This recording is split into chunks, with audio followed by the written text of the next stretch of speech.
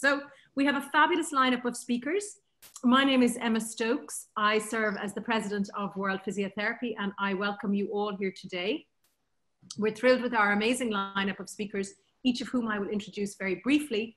But if you want to find out more details about these fabulously talented people, please take a look on our website. Um, today we have a global panel uh, that will draw on their uh, experience of COVID-19, but also their engagement with their communities and feedback some of the information they received from them about how we might reimagine physiotherapy, physiotherapist entry level education, the positive lessons that we have learned from COVID-19, the changes that we are going to hold on to. Could I have the next slide, please?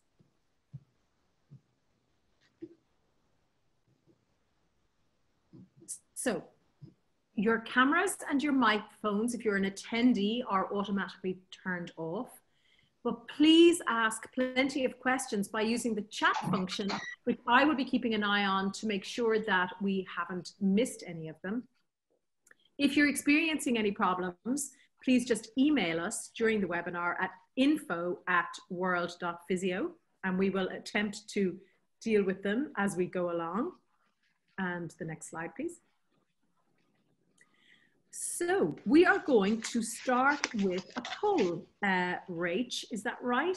Uh, Rachel Thompson, who you don't see on the screen, but who is joining us, is setting up the poll. And the first, we have two questions. The first question we have is, which World Physiotherapy region do you come from? Where are you sitting in the world at the moment? And then at this time, um, how are you delivering uh, your education program? So fantastic. Everyone filling out that poll, great. Absolutely wonderful. Fantastic. This is great. Wonderful. Okay, so look at this. Asia Western Pacific, can I just say AWP, you've been winning on all the polls. It's not like it's competition, but AWP have knocked it out of the park on all of these webinars. But look, what's wonderful is that we have a real diversity of participants from all of the World Physiotherapy regions. So that's fantastic. And look, you know what? Mainly online. My goodness, we're still mainly online in delivering our programs a year into this extraordinary time. Uh, with some 11%, the lucky 11% mainly on campus, and quite a lot of people doing a hybrid of a mix of online and campus. So that's fabulous. That gives us a feel for the diversity of who's here today. And I am going to stop talking now and I'm going to stop sharing that rate, right? Do I stop sharing the poll? Yeah, yeah. And um, we are going to start and we are going to start with Patricia uh, Almeida, who is the president of ENPHE, the um, European Network of Physiotherapy in Higher Education. And um, Patricia has two uh, academic uh, positions uh, one at the Department of Physiotherapy at um, the Al Patricia, I forgot to ask you how to pronounce that, so you can pronounce it properly for me, health school in Portugal, and she's head of education at the Hanze University of Applied Sciences in the Netherlands. She's also the president of the Neurology Group of Specialist Portuguese Physiotherapy Association. So Patricia, I'm going to hand over to you to bring us the European perspective. Thank you very much, uh, Emma. Good afternoon, everyone. I'm going to start sharing my presentation. Thank you, first of all, to, for the invitation of being here presenting the results of uh, a small survey done uh, through Europe. Uh, as uh, presented, I'm uh, representing the European Network of Physiotherapy in Higher Education, and I'm part of uh, uh, the Alcoitão School of Physiotherapy in, um, in Portugal. ENPHE uh, as, is part of, uh, of the task force from the World Physio. And together we have been through the different phases of the, of the pandemic and how have we been dealing with, uh, with education. At the moment, uh, considering that we are already at the phase of reimagining, we decided to survey how are we really adjusting our educational programs. And for that, uh, we asked uh, two simple questions. Uh, to name one positive change that as an educator uh, have uh, uh, changed or considered as positive change after the pandemic, but also from the perspective of the organization. for that, together we all sent out the same, the same survey. In the case of Europe, the survey was sent to uh, ENPHE network, uh, which is composed by 31 members and 100, uh, 31 countries, my apologies, and 150 uh, members. Uh, and the respondents are listed on the side where representing 45% of countries and 23% of the membership in terms of the respondents for the survey. When analyzing the responses from the educator's perspective and from their individual uh, side, we could identify four most mentioned positive changes. Increased and improved digital material in the way that uh, teachers were pushed to provide distance learning uh, for knowledge transfer, not, uh, skills and critical thinking, and developing therefore their blended learning skills. This also increased students' autonomy with more responsibility for their learning uh, path. Both educators and the students became more flexible and adaptable in line with the non-linear world uh, and the higher uncertainty we are living at, um, at this moment. When we look at the organizational uh, perspective, um, it is mentioned the increased amount of digital resources, facilitating blended learning, and also increasing work efficiency in the process, education, and assessments and students' feedback, with more alignment and focus on the essentials of learning and the learning outcomes. The visible relation between individual and organizational perspective, where blended learning uh, became systematized was systematized was supported by uh, the infrastructures and that's the relation we can see uh, from the individual perspective but also from the organizational uh, perspective so we can see a very good uh, connection and both considered as positive changes for for physiotherapy um, education. Based on uh, uh, these results, but also on the conversations with colleagues uh, around Europe and uh, reading publications, we can see how we moved from a resolving phase and the merely use of digital tools into a thought implementation of digital education blended in campus and with practice. We are fastly moving from the use of technology to a multidimensional digital uh, transformation for physiotherapy education, COVID forced the digital maturity with the, the processes, the models, and the transformation into selected approaches and cultural organization uh, transformation. That means that programs were deeply thought on how to provide them in a blended learning mode without losing the essentials of, um, of physiotherapy. Well, it seems that we are uh, ready to enter the fifth industrial revolution, where the digital era is no longer a challenge and where flexibility and agility to deal with the uncertain and the different possible futures is the, is the focus. Still a challenge for physiotherapy, but apparently um, teachers are diving into it, are starting to feel more comfortable, are starting to lose the barriers of using the digital tools to even uh, uh, teach uh, uh practical skills, assessing even uh, practical skills, and giving the time to uh, dedicate to discuss critical thinking, reflections with students, while they take also more responsibility in their learning path. And these are the results and uh, apparently positive from uh, what the pandemic brought uh, to us. So looking now forward for a more sustainable way of um, education. Thank you very much for your uh, attention and I'm looking forward for your uh, questions later on. Thank you so much, Patricia. That's fantastic. Absolutely wonderful. Um, I'm going to introduce the next speaker, um, and that's uh, Karim um, Alvis Gomez. Um, and Karim is, the, uh, is a professor at the National University of Colombia, and since 2014 has been the director of the Latin American Center for the Development of Physiotherapy and Kinesiology, CLADPHEC, and she is going to give us this a perspective from uh, our uh, colleagues and community in South America. Okay, good morning, everybody. Thank you Emma, and everybody for your presence here. Uh, for me, it's a pleasure to be here and sharing with you our resource.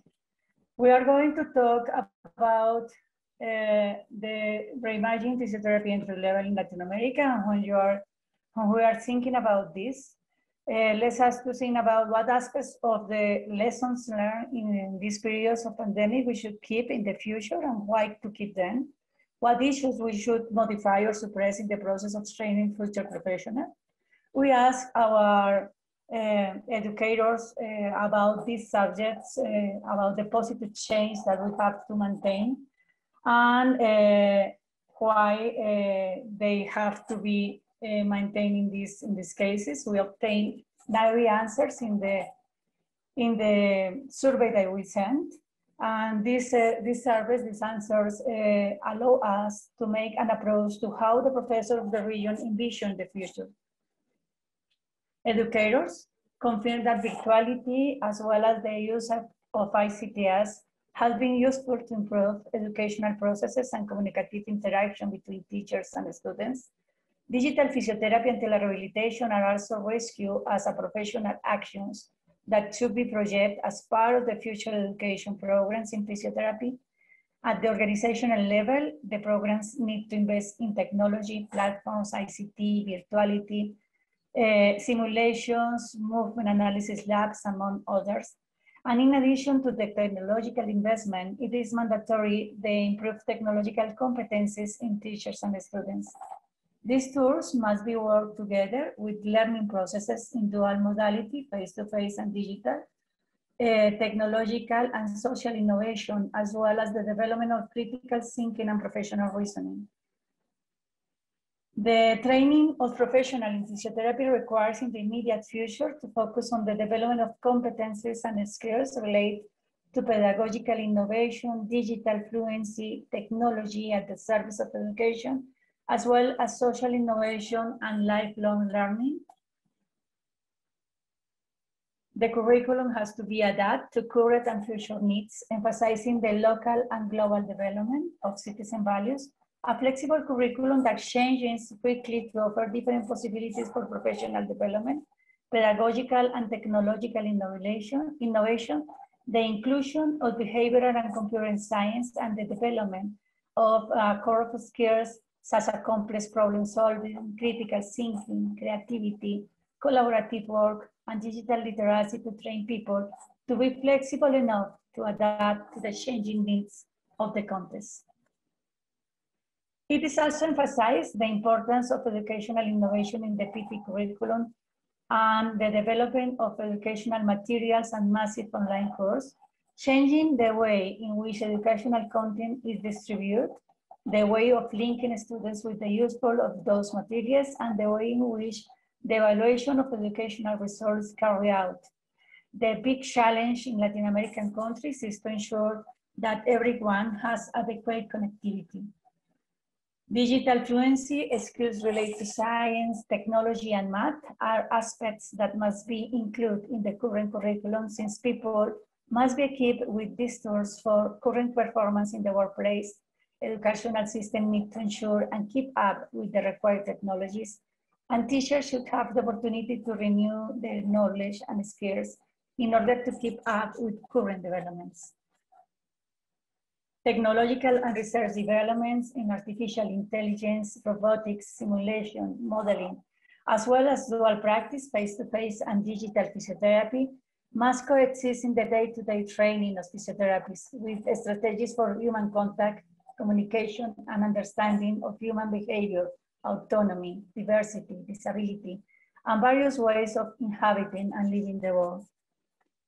Social innovation uh, uh, should be placed uh, in emphasis in the, in the educational process in such a way that education practices and research solutions allow traditional excluded people to participate in social and economic contexts and provide solutions to real and global problems. This could be possible with pedagogical strategies such as experience and context-based learning, problem and project-based learning, as well with a strategic alliance between society, productive sector, and educational sector. general characteristics such as uh, the ability to learn lifelong inside and outside of the high educational institute, as well as active learning, critical thinking, and professional reasoning are competencies that must be present in the training of the future professional. It is clear that current condition implies diverse developments for the profession, and they must be assumed in the training process with high responsibility by all the actors. That is, high education institutes, teachers, and students. These are the results that we obtain of our position about what are the future of physiotherapy entry level uh, in, in Latin American countries. Thank you very much. Thank you, Karim. Um, we're going to, I'm going to uh, move through our presentations, but I'm spotting the questions as they go along, so don't worry, I will come back to them. Thank you very much. Our next speaker is uh, Suh-Fang Jeng, the chair of the Asia Western Pacific region of World Physiotherapy. And she is um, an associate dean at the National Taiwan University College of Medicine and um, has been president of the Taiwan Physiotherapy Association. And uh, she has um, an incredible, as you can see with all the people who are joining us from AWP, um, she leverages her network very, very effectively in AWP. And so we're going to hear uh, about the perspectives um, from Suh-Fang. Thank you very much, Suh-Fang. Hello, uh, Emma, panelists, and colleagues from around the world. I'm Suh-Fang Jeng presenting Reimagining PT and entry-level education learning from COVID-19 from the perspective of AWP region. In response to the COVID-19 pandemic, our region has established a network in FB Messenger um, for interaction and collaboration. And the information to be shared in my presentation today was contributed by educational and um, and professional leaders, Yirong, Shifen, Kisong, Kama, Pamono, Ariel, Yuting, Tetria, Lee, So, Matana, and Jillian from 11 member organizations. Their feedback was sent to me with qualitative statement like this, uh, and then they were uh, counted for the frequency of uh, keywords and fed into word cloud to highlight the important messages. Question number one, educators uh, most frequently mention online learning as the positive change in education and several keywords like accessibility, adaptability, free classroom, uh, and then copyright. Free courses uh, have shown uh, related to online courses. Let me elaborate more on these changes.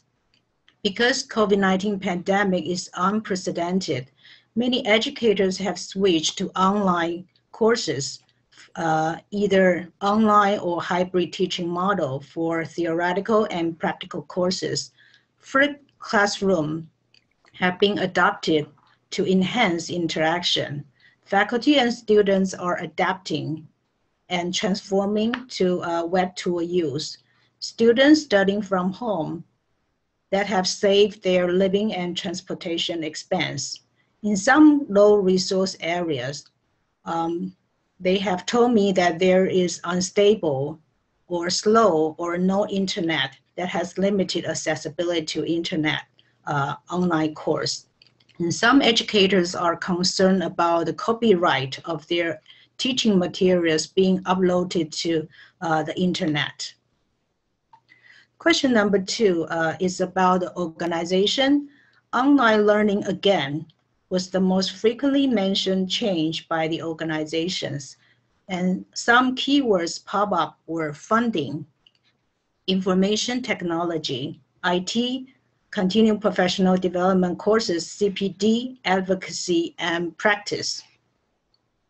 Apparently, uh, universities and departments have provided funding to support infrastructure and training for uh, online courses. Some schools even promoted uh, and marketed their online programs to attract domestic and international students.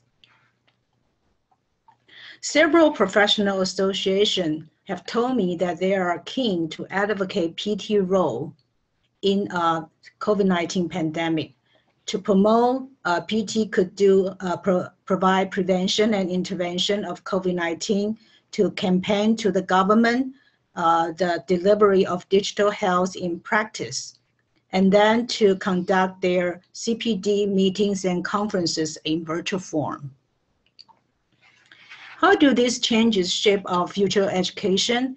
In the aspect of curriculum content, our students need to learn uh, the knowledge and skills of communicable diseases such as COVID-19 and infection control measures in practice and internship, as well as PT management of patients with COVID-19 from acute to chronic stage. Some educators would continue using online learning for teaching certain subjects. Uh, a recent meta-analysis by uh, Udgur uh, this year, uh, that was a uh, meta-analysis on 10 PT education studies uh, that show online learning was equally effective compared with traditional face-to-face -face teaching. However, more studies need to be done, particularly uh, larger con randomized control trials and assessment of effect on practical skills behavior and learning retention. Safety and ethical guidelines for information use are also recommended. The pandemic brings us crisis, but also opportunity for innovation and collaboration. We are very happy to see development of e-health, artificial intelligence, and virtual reality in our region for learning and practice that may lead our profession to a different horizon in the future. Thank you very much for your attention and participation. Thank you, Suh-Fang. Thank you so much. Um, I'm going to move us on to our next speaker, who and we're we're delighted to welcome um, Olajide Olawale, who is joining us uh, on the webinars for for the first time, which is wonderful. We've had a number of the other speakers have either been moderators or who have been speakers, so it's wonderful to welcome you. And um, Olajide is the professor of physiotherapy at the University of Lagos in Nigeria and is a fellow of the Nigerian Society of Physiotherapy and also had two terms as the chairman of their education committee um, of the society. Um, he's also an external examiner in, in physiotherapy in 12 universities in Nigeria, Ghana, and South Africa. So we know that he's also been able to connect with our community in um, countries in Africa to get a feel for what's been happening uh, in terms of physiotherapy education there. So Olajide, I'm going to hand over to you. Good afternoon, all from all over the world. I'm Olajide Olawale from University of Lagos, Nigeria, and I'm going to share my submission with you on the topic that we are discussing today. I have this outline. I'm looking at the survey question and I will go from there and look at the lasting impact of the solutions and innovations.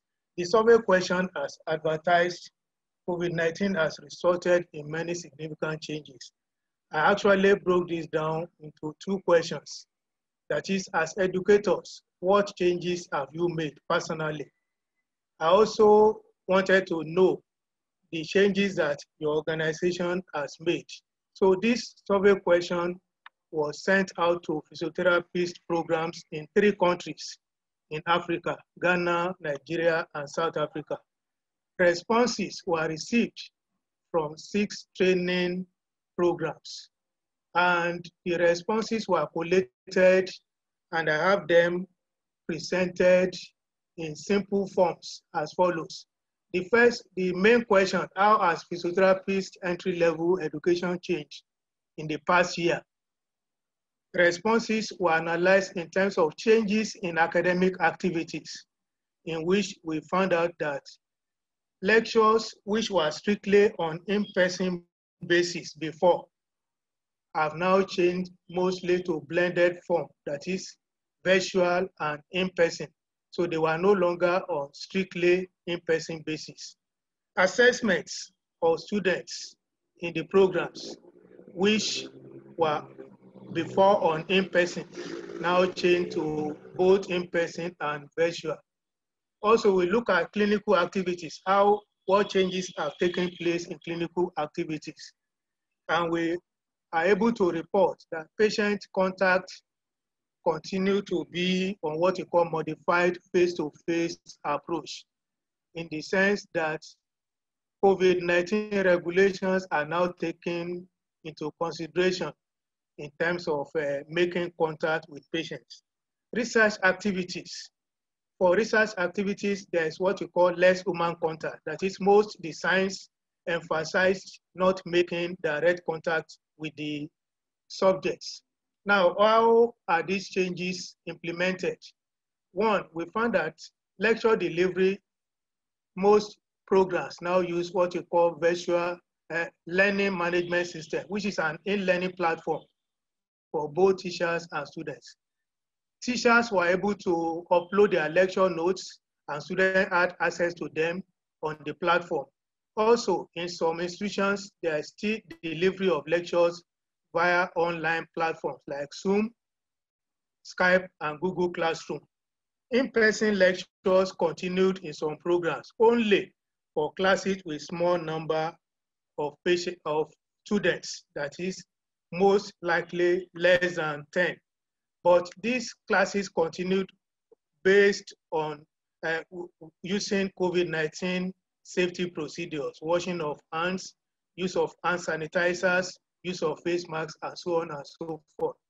Laboratory sessions also continued in person on in-person basis for small classes, still taking care of uh, COVID-19 safety procedures. Research protocols mainly changed, uh, change to cross-sectional surveys and systematic reviews so that data collection for, uh, for cross-sectional surveys were by Google forms disseminated via emails and WhatsApp uh, platform to eliminate contact with the subjects.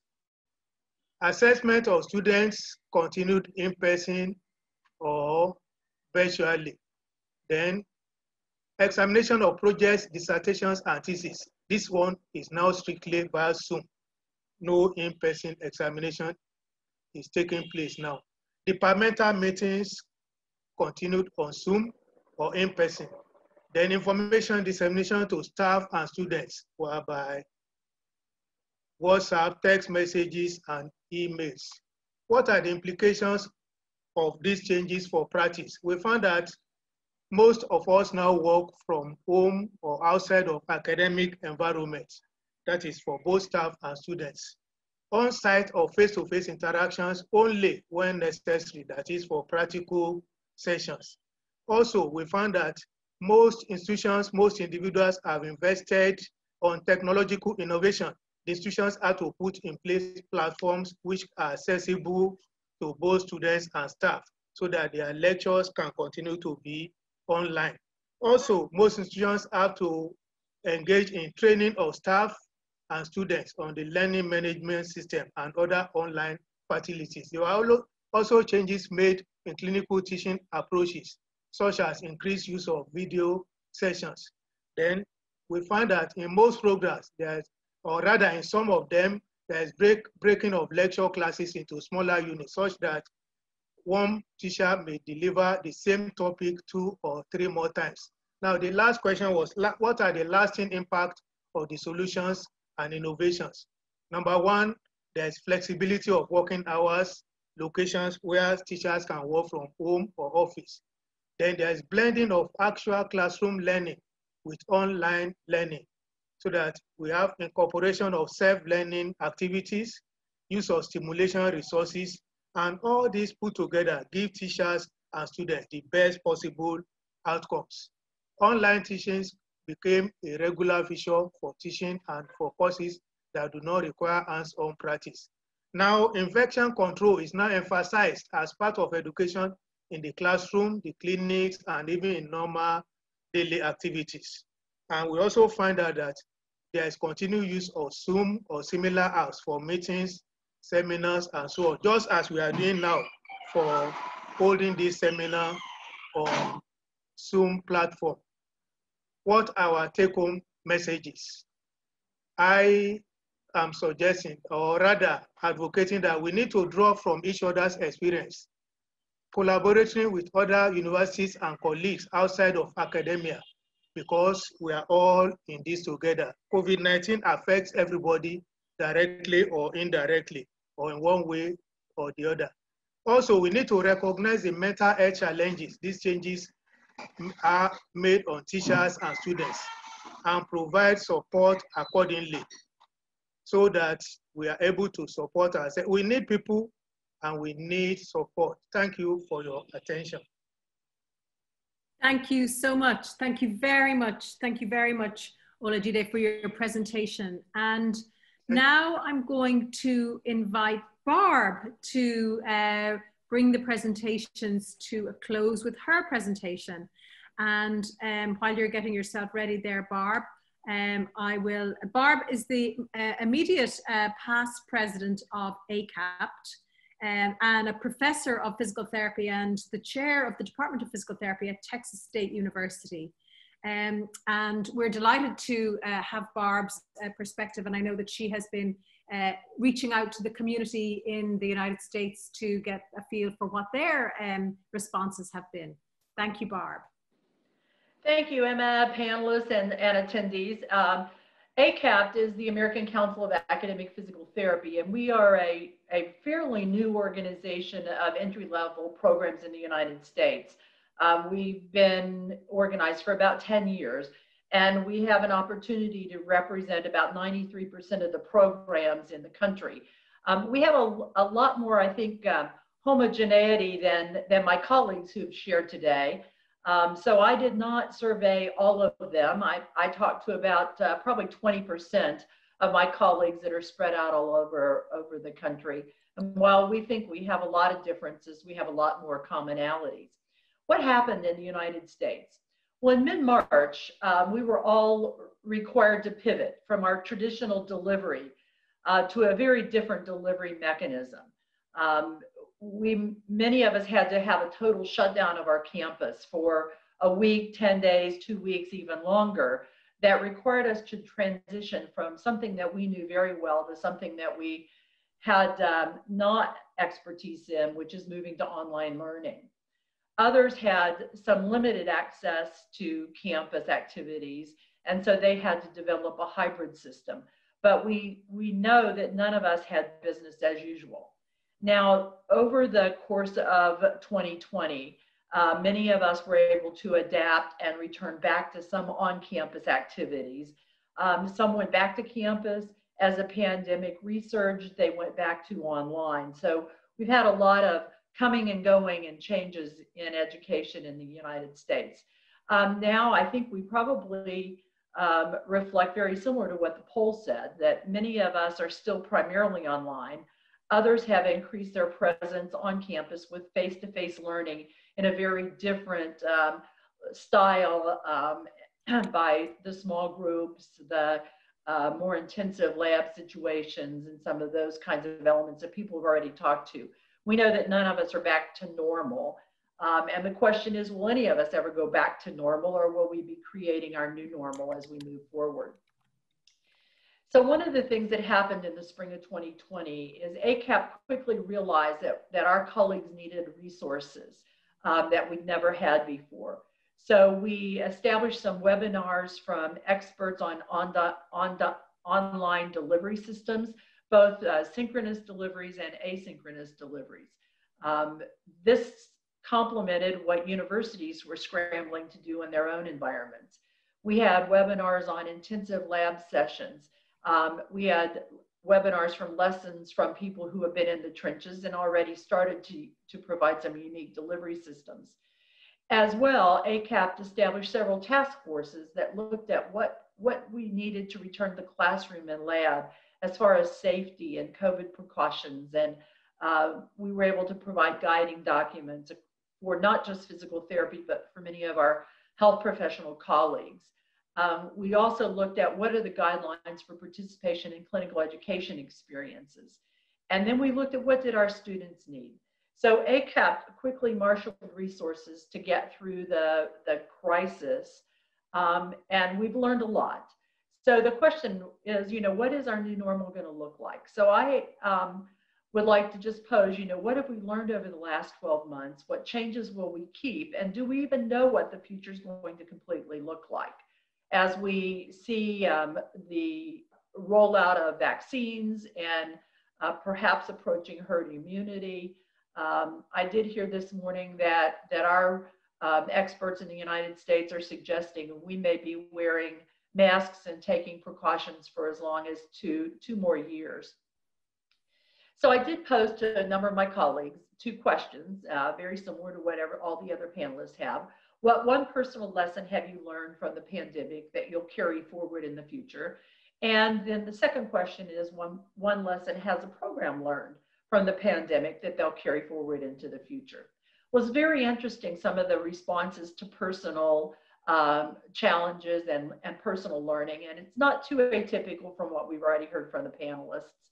But, but the uh, feeling was that I can make online testing work. Um, that was not completely uh, comfortable for many of us. We did uh, learn how to leverage technology. Recording lectures for synchronous learning is easy. I can be comfortable with technology and learn to use a number of different platforms and tools. I think we all realized there were lots of things out there that we had not um, taken our time and energy to learn, but when we're forced into it, we, we can learn and, and adapt. And the different styles of learning of students have helped me to develop different teaching styles. Again, we've heard that um, throughout the presentations. Networks are critical and useful, relying on our colleagues. Um, meetings and office hours can be held electronically and work effectively. And this is the one I haven't, um, haven't heard too many talk about. But one of my colleagues and I had a long conversation about when he said, I have learned to be more compassionate, to be more humble, to be more charitable. Um, very, very strong lessons learned through that process. As we look at the program, what are some of the things that the programs have learned that they're going to carry forward into the future?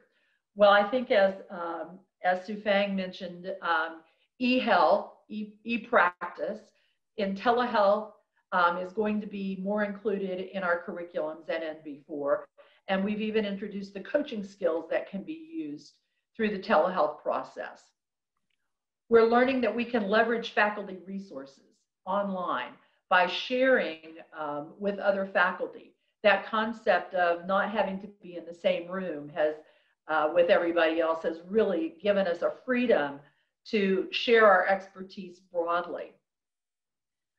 Another thing that we um, has been referred to is that increased um, use of technology developing that library of recorded lectures and demonstrations that will be available moving forward.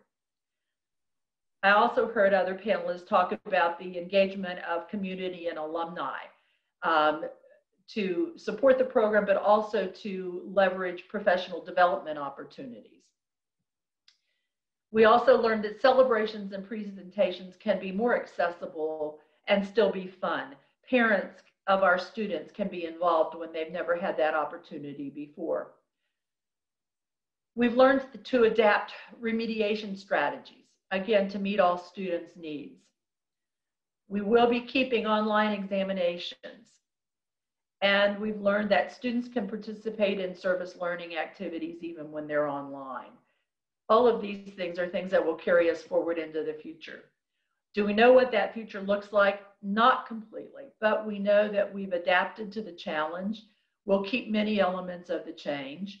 We've learned that we can be flexible, resilient, and still accomplish our goals. We have yet to know whether the outcome measures will provide us with more guidance to uh, confirm that what we're doing is working or that do we need to look at continued change in the future. So on behalf of the ACAPT and my fellow educators in, uh, in the United States, thank you very much for this opportunity. Thank you, Barb. That's fantastic. Um, everyone, thank you so much for your presentations. And what's, we're getting some great questions in. So I have just moved them into a document here in front of me so I can start to put them together. So um, many of us are talking about solutions and reimagining, obviously, how physiotherapy entry level education is going to look different. And um, one of our colleagues um, has asked the question um, what place does educational educational inequity play in the prospect or the, that you propose for post-COVID education? In other words, have we any concerns about um, becoming even less equitable? Do we have concerns about access um, and any changes that that might have for students entering physiotherapy education as a result of some of the very interesting changes in our educational practice. So um, I'd like to open that up to the panel. So it's about, I guess, you know, this, these inequities that we consider may arise as a result of COVID. So any thoughts on the panel? Emma, I would, I would phrase that we're looking at uh, maybe resolving some of the inequities because with online learning, we're able to provide education to students that perhaps may not have had access otherwise. Um, and if we can continue to provide them with at-home opportunities uh, where they don't have to relocate for a, a, majority of their education. Now, one of the things that we quickly realized that we still have a lot of underserved areas um, in rural, part, rural parts of the country. So the university quickly realized that we could support some of that digital access. Uh, and, and so that's been one of the things that we have learned and, and will continue to be a challenge, I think, in uh, some of the digitally underserved communities, but but we're working very hard to recognize that. And I think that that's been, you know, a learning that everybody has had in the United States from uh, primary to secondary to post-secondary learning is that we need to increase digital access. Great, thank you, Barb. Any other perspectives from our speakers? Um, and I think probably picking on picking up on Barb's point about sort of digitally underserved areas or, or, or um, students. So Karim, I see you wanting to come in. Please yes. do. Yes, I, I, I agree with the with the, our colleague that asked about the inequity because in our countries, for example, it's very difficult accessibility for the majority of our students, for example.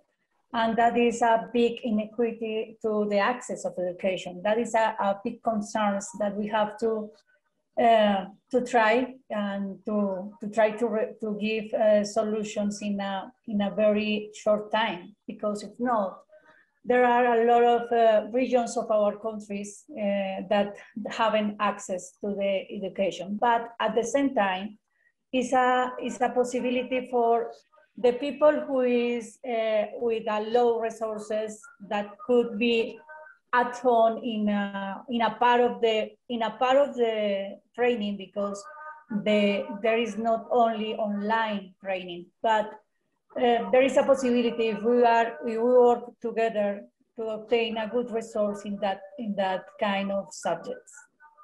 Great, thank you, Karim. Olajide, I see you have your hand up. Would you like to come in? Yes, I, I want to come in, but um, I just want to talk on the challenges being faced by students of different socioeconomic levels as, as we are witnessing in some African countries.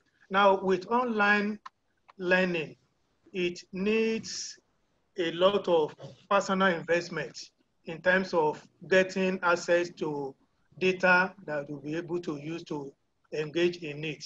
Now we have challenges of students who are indigent students who are not able to afford a lot of uh, personal investment to be able to get enough personal resources to ensure that they are able to take part in online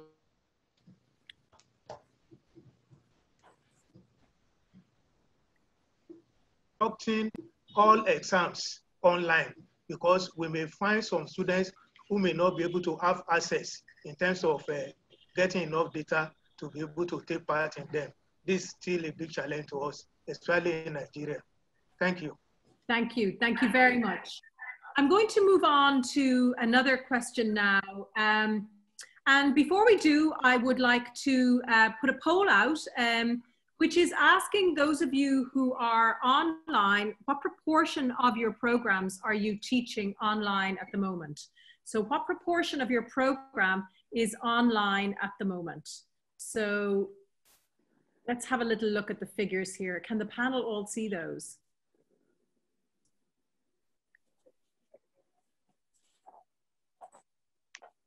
So we've got a nice mix. We've got less than 20%. We've got um, um,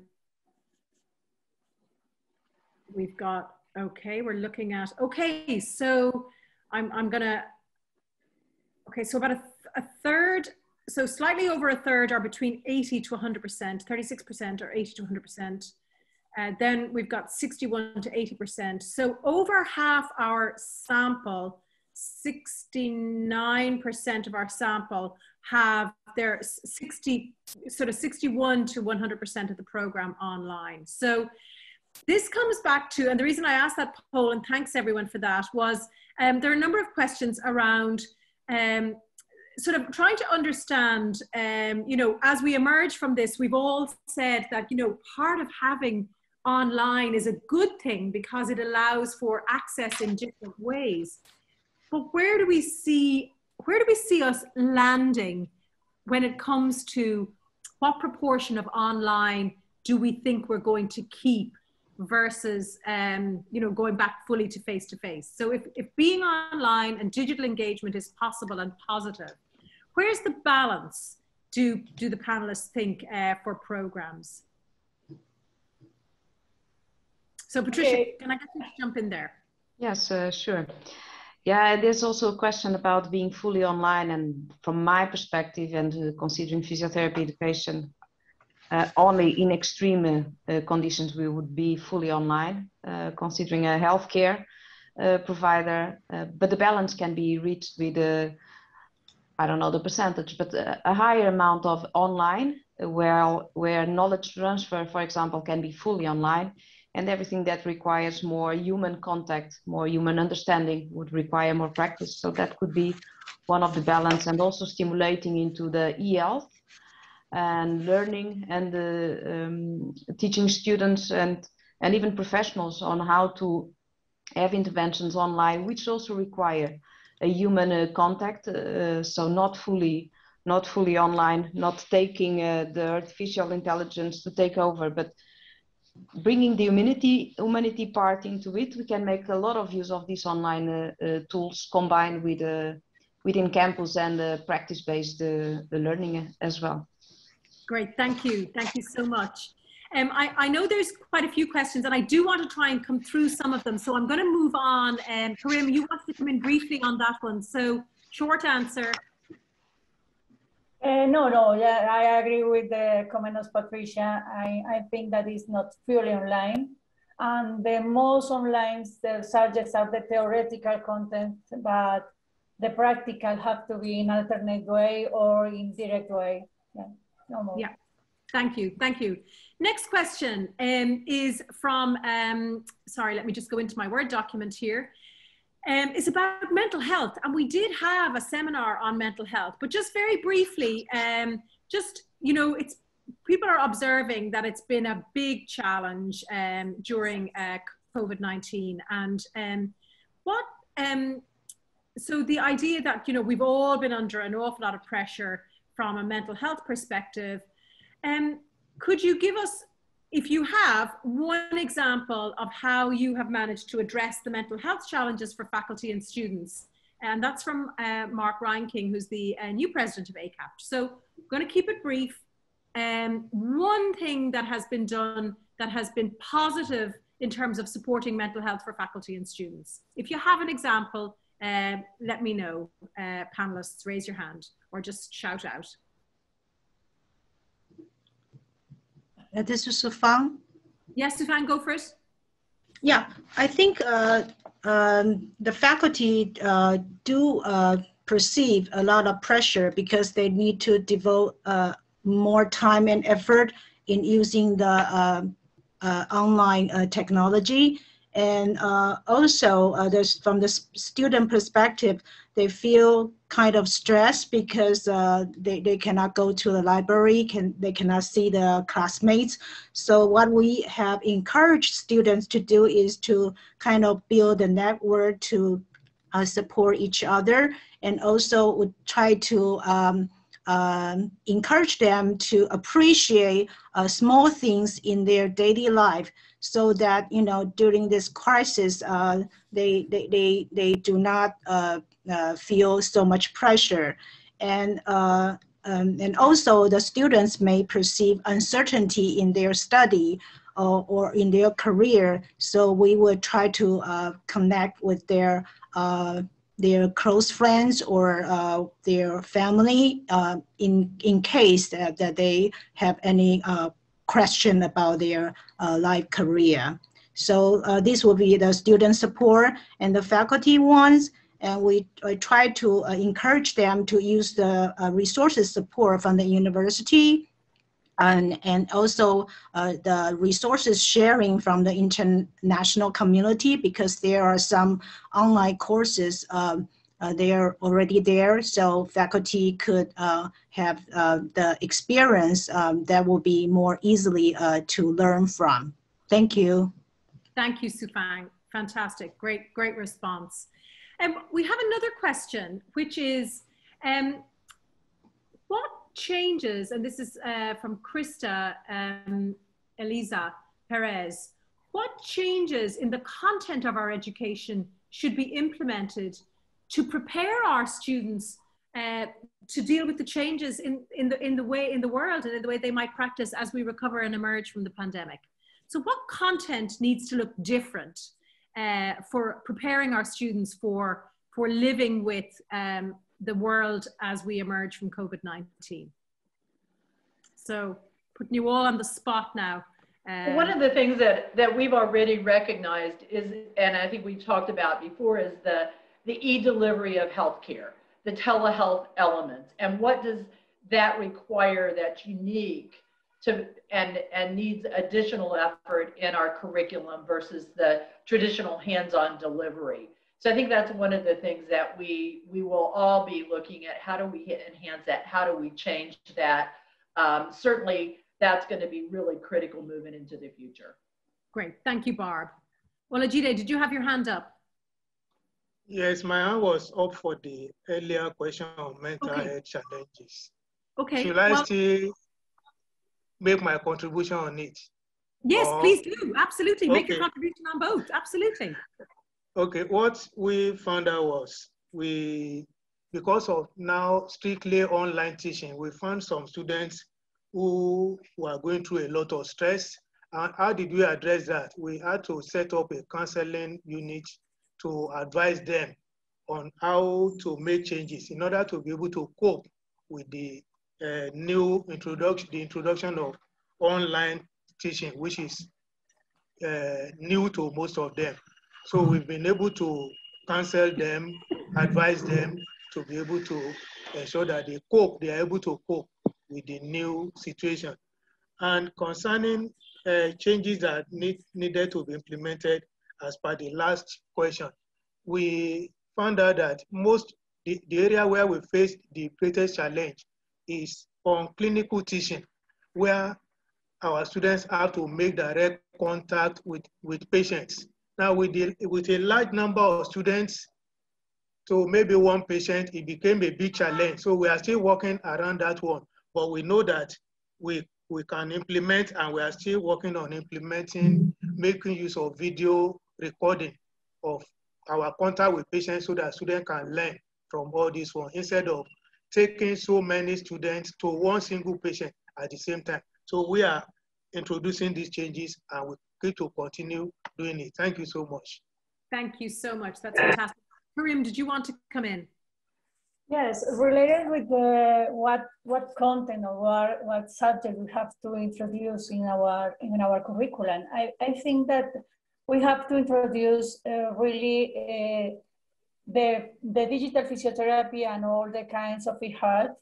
And uh, we have to form in our students and our future professional the digital competence and we have to introduce math because we uh, need it to understand the relation in the technology and how to use the technology and how to improve in artificial intelligence, robotics, simulation, something like that, that we have to understand, not as just use. We have to understand to produce really solutions.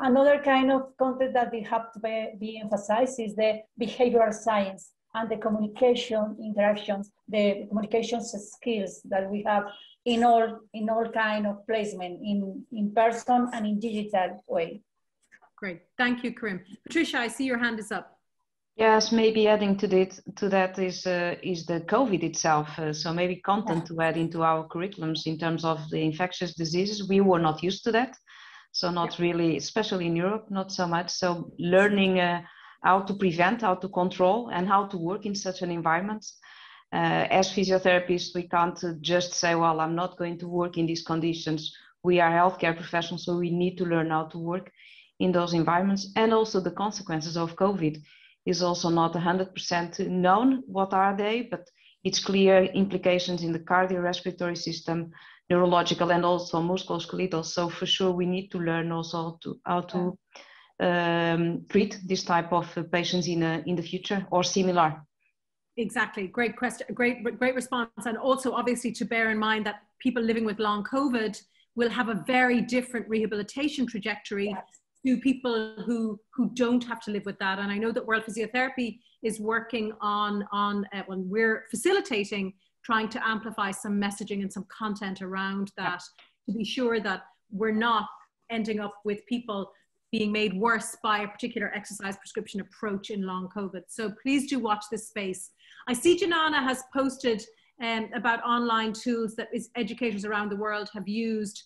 Um, there's a lot of questions coming through, and I think this is the big, big elephant in the room, which is how do we manage the anxiety that students and practitioners and perhaps even regulators will have about this lack of hands on skill development, if in fact, you know, this is an issue uh, for, for some programs in our students when they either head out onto practice education placements, go to do their internships, which are obviously maybe at the end of their program, or just indeed if programs are doing it iteratively. So how are we going to reframe our expectations perhaps about what our students will be able to do on practice education because perhaps of a lack of face to face interaction? So it's a hard question, and it's one that I'd like you to, to briefly answer uh, because I think it is the big question.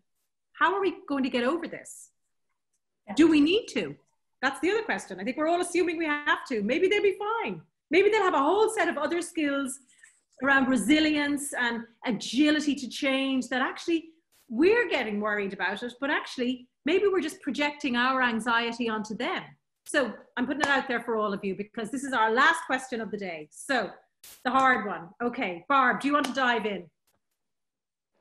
Sure, I think that's where we really don't know what the outcomes are. I think what we've had to do as educators is look at what are the absolute essential skills that students need to have when they go into a clinical setting the communication skills, the problem solving skills, the basic understanding of foundations of physical therapy. Maybe they don't need to have a lot of those fancy, nice to know skills. So we don't know the answer yet, but I, Emma, I agree with you. I think some of it may be our anxiety about what our students are going to look like. I think we have to trust that we, as educators, have built them a sound foundation. And if they're good problem solvers and good thinkers, um, then they can adapt on the fly, just like we've all been adapting. So that's kind of my perspective on that. Um, I guess the proof will be in the pudding when we get a little further down the road after this. Absolutely. Thanks, Barb. Um, okay, Patricia. Well, maybe also the the strong uh, connections we have with uh, with practice can be a, a, a trial period of uh, when the students are entering uh, the work field in analyzing what is the real impact and be more uh, flexible in uh, in the process of learning for the less learned competences due to non-practical or the more human side of, of our intervention. So maybe a period where we are more flexible for juniors, uh, for example, and get, give that trust and confidence to them. Great, thank you. Uh, Karim.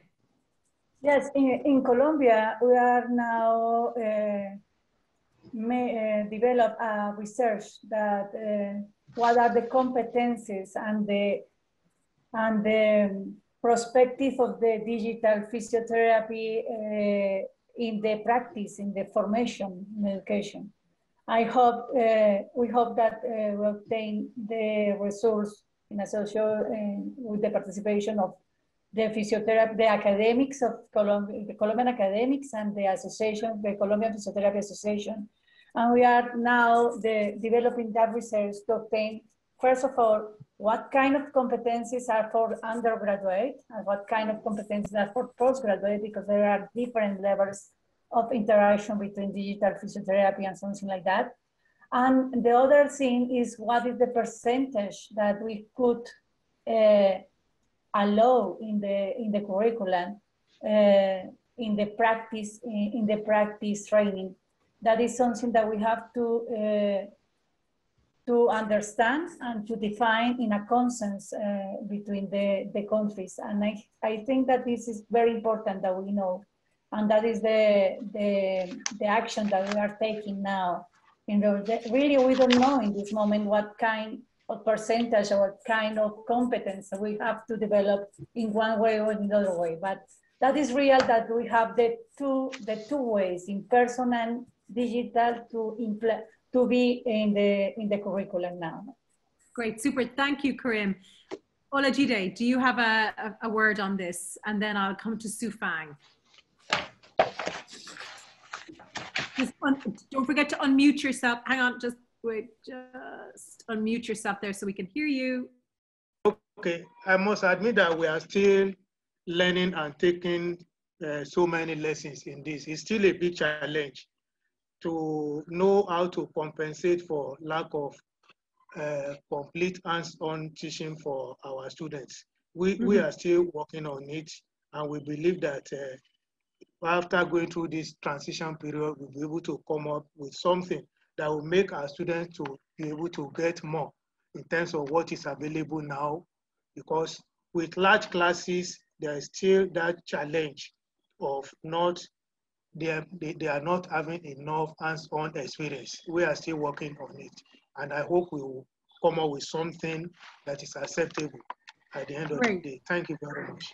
Thank you so much. Suh-Fang, I will give you the final word. Yeah, I think uh, for the short term, uh, I, we, we need to have the uh, strong belief of our students because uh, they are in this cohort of COVID-19 pandemic and they got the opportunity to be flexible uh, in adapting themselves uh, into the, all kinds of learning models. Um, uh, and for the long term, I think we we need to look at what is the core skills and behaviors that our profession uh, is you know most value that are important for our practice. so at the moment, there are only limited evidence to support the online learning for certain professional skills such as uh, cardiovascular uh, procedure and uh, ultrasound assessment, uh, but not uh, other uh, professional skills or behaviors. So if we want to set up any kind of guidelines, then we need to have more evidence on that. Thank you. Great, thank you very much. Thank you everyone. I'm mindful of the fact that we are coming up to the hour. Um, I'm going to put the link to our Facebook group, which is the Educators Facebook group.